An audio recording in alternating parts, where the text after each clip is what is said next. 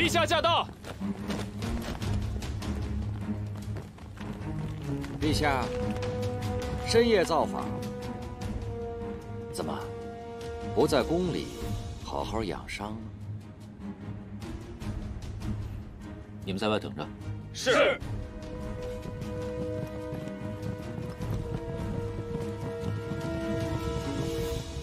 还墨迹什么呢？你不是要本宫相信你吗？机会，本宫可是给你了。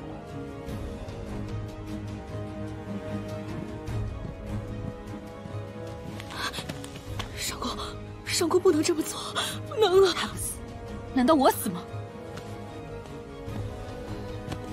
陛下。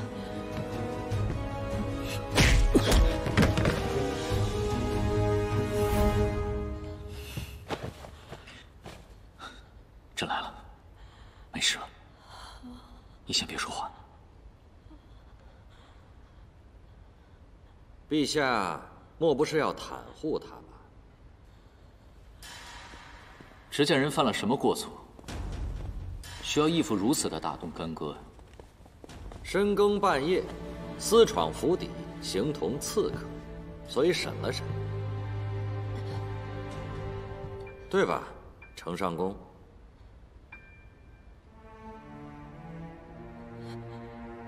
没错，国有国法，家有家规。楚国公不过是按法行事。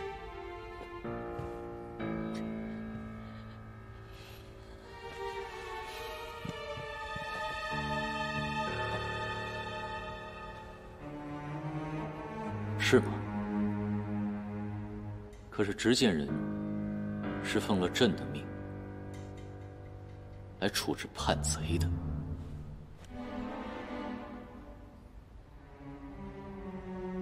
陛下所说的叛贼，是指奴吗？你难道忘了自己刺了朕一剑吗？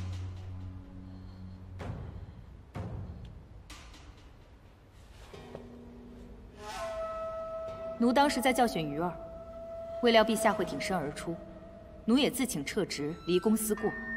可是朕并不同意。但此事也得到了楚国公的准许。也报备了六局。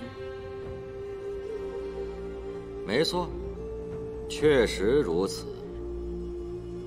好，既然楚国公已经惩戒了你，此事就此作罢，朕也不再追究。来人，带执剑人回宫。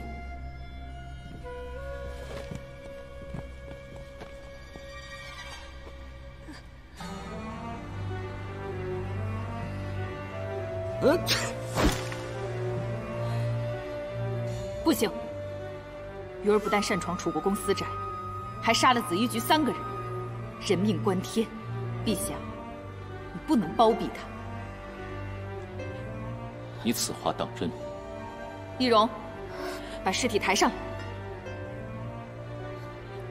还愣着做什么？快去！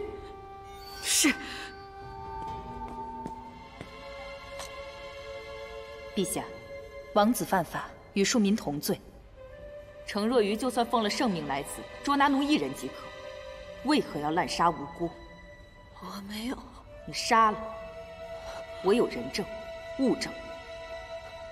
姑姑，别叫我姑姑。我说过，你我已经恩断义绝。别怕，有朕在。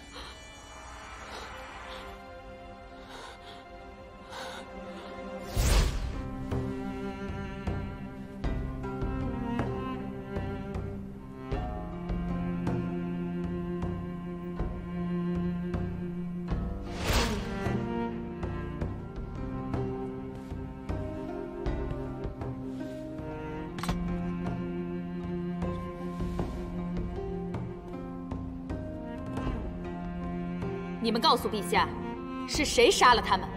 是程若愚。陛下，这把剑就是从他们身上取下来的，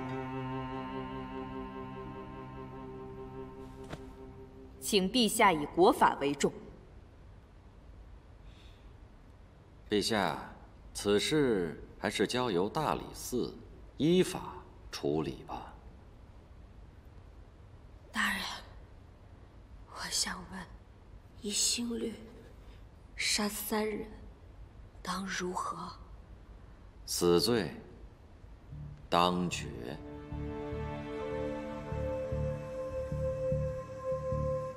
程若雨，外面的一切我已布置妥当，该你走出最关键的一步棋了。我要求府地图，姑姑所在的位置，还有你的帮助。好啊，那你就要全部听我的。你说，我会派严修跟着你，你潜入后。尽量吸引程曦的注意，我让严修趁机救出刘密山。没问题。但是，你会面临两个危机：第一，程曦对你动手；第二，就算程曦不杀你，裘府中的一举一动，都逃不过裘子良的耳目，他也会杀你。只要能救出弥沙郡主，我无所谓。现在还不到一命换一命的地步，救出刘弥沙后。我会带他立刻去见齐燕，让齐燕亲自出马去裘府救你。可是，裘子良不会听陛下的，所以，我给你找了一个护身符。那么，我罪妇有孕在身呢？你说什么？我有了身孕。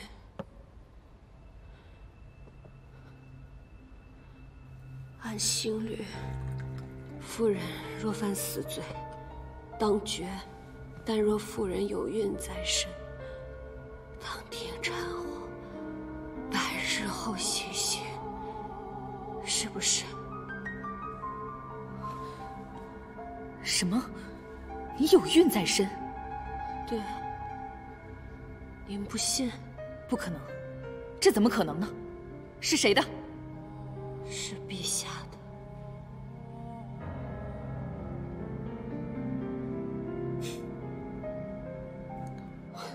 先不说我怎么凭空有了这个孩子，就是因为我有了陛下的骨肉，裘子良就更不会放过我了。你到底还想不想救你的好陛下？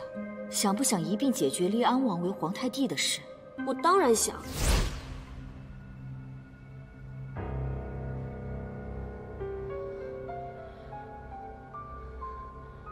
大人，您不是想问我为何跟姑姑反目吗？说，我方才不肯说，是因为我还对他有感恩之心，但没想到他对我赶尽杀绝，想要置我于死地。我就算为保腹中孩儿，也要自保。我曾奉姑姑之命接近陛下，他许诺我，诞下龙子之后，扶我而上位。登基称帝，可没想到他突然叛变，将安王和刘弥沙带到大人这里。下月十六，便是安王被封为皇太帝之日。我又气又恼，跑来与他对峙，才差一点大打出手。胡说八道！大人。你不要相信他。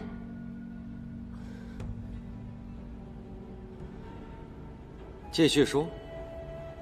没想到我被他骗了，他利用我，让陛下与您反目，又带着紫衣局假意投靠。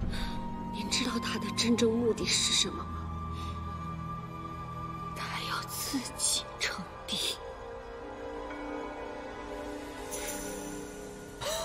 哈哈哈哈哈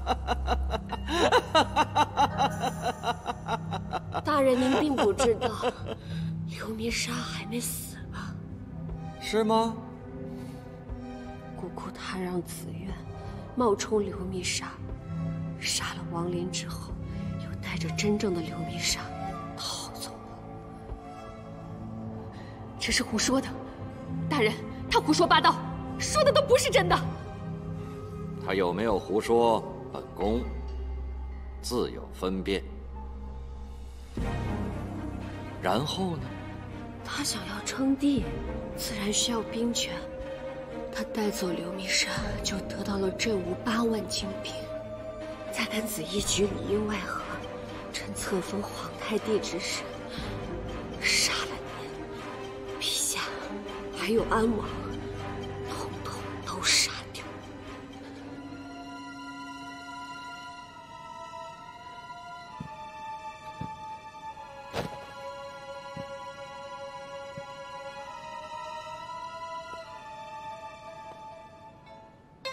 是吗，程上公？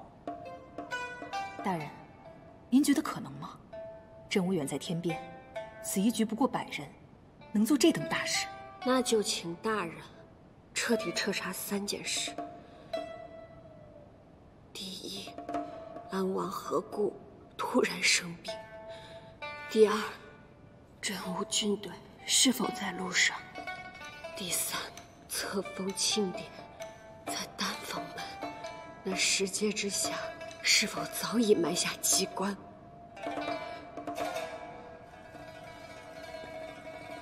来人，在，马上去查。是。